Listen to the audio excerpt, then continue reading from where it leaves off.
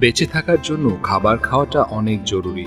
কিন্তু খাবার জন্য বেঁচে থাকা কথাটা অযৌক্তিক। পৃথিবীতে এমন অনেক লোক পেয়ে যাবেন যে যাকে দেখে আপনার মনে হবে, এই লোক শুধু খাবার খাওয়ার জন্যই জন্ম নিয়েছে। এক একজনের এক এক ধরনের খাবার প্রিয়। এই জন্য মানুষ বিভিন্ন রেস্টুরেন্টে গিয়ে থাকে। কিন্তু এই পৃথিবীতে এমন কিছু কিছু খাবার রয়েছে যা হয়তো আপনি, আমি কখনোই খেতে পারব না। আপনি কি জানতে চান কি এমন দামি খাবার রয়েছে যা আমি, আপনি খেতে পারব না? চাইলেও সো বন্ধুরা, চলুন আমাদের আজকের ভিডিওতে জানব পৃথিবীতে এমনই কিছু দামি খাবার সম্পর্কে জানব যাদের দাম শুনলে আপনি অবাক হয়ে যাবেন। ডঙ্কি চিজ আমরা নর্মালি গরুর দুধ দিয়ে তৈরি করা চিজ খেয়ে থাকি, কিন্তু আমি যদি আপনাকে গাধার দুধের চিজ দেই, তাহলে কি আপনি খাবেন? আমার মনে হচ্ছে আপনি খাবেন না। এই লোক তার খামারে বালকন প্রজাতের গাধার দুধ উৎপাদন করে থাকেন এবং তা দিয়ে চিজ বানায়। গাধার দুধ অতটা ঘন নয়, যা দিয়ে চিজ বানানো যাবে। কিন্তু এই লোক কীভাবে এটা দিয়ে চিজ বানায় তা একটা সিক্রেট।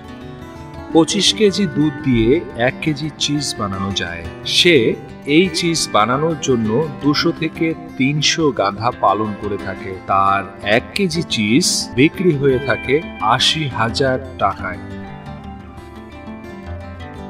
লা বর্ণটট পটেটো।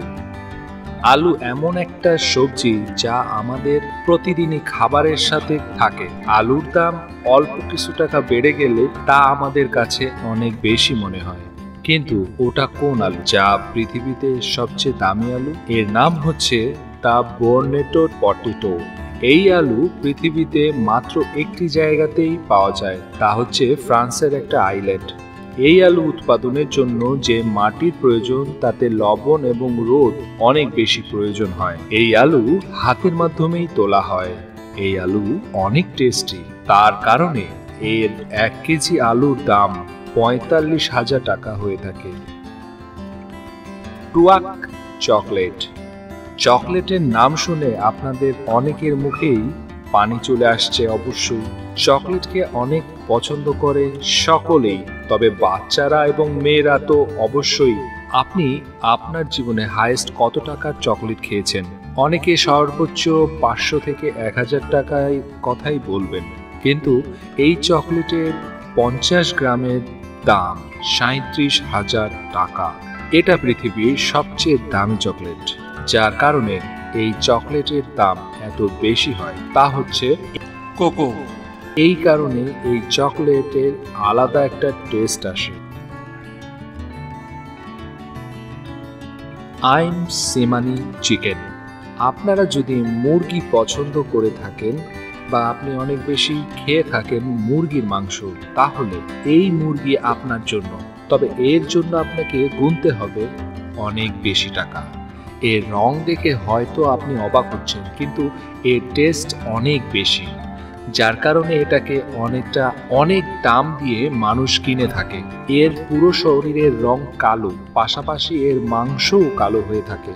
এটা দেখে হয়তো আপনার এর মাংস খাওয়ার ইচ্ছাটা নাও হতে পারে, কিন্তু একবার চিন্তা করে দেখুন, যদি এর মাংসটির টেস্ট বেশি না হতো, তাহলে মানুষ কেন এত টাকা দিয়ে এই মুরগিটাকে কিনতো? এই মুরগিটা শুধুমাত্র ইন্দোনেশিয়াতেই পাওয়া যায়। একবার এই মুরগি বিক্রি হয়েছিল তিন লক্ষ পঁচাত্তর হাজার টাকায়। এতেই আশা করি বুঝতে পারছেন, এই মুরগিটা শুধুমাত্র বড় লোকদেরই জন্য। আর এটা কতটা এক্সপেন্সিভ সেটা বুঝতেই পারছেন।